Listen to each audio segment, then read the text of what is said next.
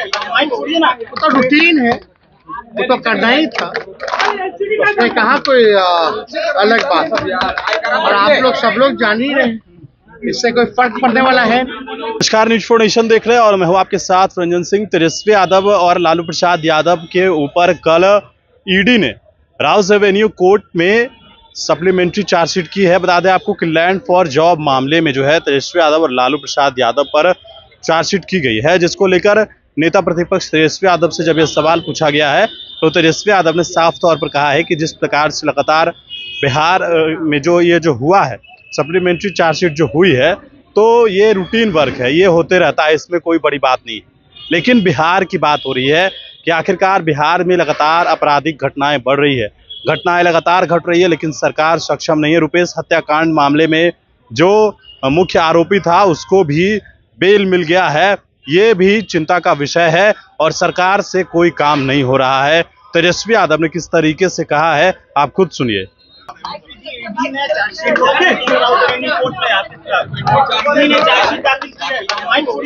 तो रूटीन है, वो तो करना ही था। उसमें कहा कोई अलग बात। और आप लोग सब लोग जान ही रहे हैं। इससे कोई फ़र्क पड़ने वाला है? कुछ मिला तो है नहीं कुछ है नहीं इसमें कमी नहीं है। तो इस पे ज़्यादा कोई टिप्पा टिप्पणी नहीं करना है। अदालत है अदालत पे हम लोगों को विश्वास है। और शुरू से ही जो है आप लोग जान रहे हैं कि हम लोगों का पक्ष बड़ा मज़बूत है। ये कहीं टिकने वाला नहीं है। और हालाँकि ये करना ही था। ये तो फॉर्मेलिटी होता है। हाथ पकड़ रहा है आप करना था क्या बात? चलिए। हत्या हो रही है। देखिए बिहार में लगातार हत्या तो हो ही रही है। हर तरह का मामला जो है सामने जो है आ रहा है। अभी भी देखा जाएगा कि जो रुपेश जी का जो इंडिगो में जो थे उनका भी जो हत्या हुई थी। अब पता चला है कि कोर्ट से जो भी आरोपी थे वो बरी हो गए तो सवाल एक बड़ा खड़ा होता है कि आखिर हत्यारा कौन है? तो पुलिस जो है इन्वेस्टिगेशन जो है, ढंग से नहीं कर पाई है, या तो पक्ष अच्छे से नहीं रख पाई है।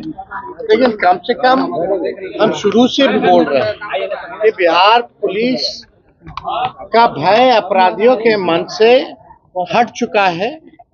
ना ये लोग पक्ष अच्छे से रख पाते हैं, ना इन्वेस्टिगेशन अच्छे से हो पाता है। अपराधियों को पूरा नीतीश जी के राज में संरक्षण मिलता है और नीतीश जी का इकबाल जो है, पूरी तरीके से खत्म हो चुका है। इसलिए हम सब लोग बिहार में जिस तरह से अपराध बढ़ता जा रहा है, पूरी तरीके से सरकार जो है, इस पर खामोश है, चुप्पी सा दी हुई है। और कहीं ना कहीं से अपराधियों को संरक्षण ये सरकार देने का प्रयास कर तेजस्वी जी पंद्रह तारीख को यात्रा पर निकलने वाले हैं। इसको लेकर हो रही है पंद्रह तारीख को यात्रा पर निकलने वाले इस विषय पे पार्टी के लोगों से लगातार बात हो रही है। पंद्रह अगस्त को हम लोगों ने कहा था कि पंद्रह अगस्त के बाद हम लोग निकलेंगे।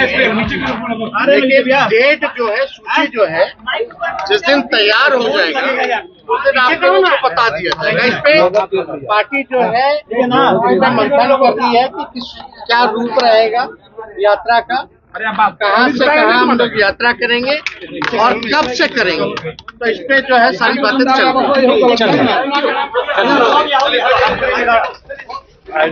हैं।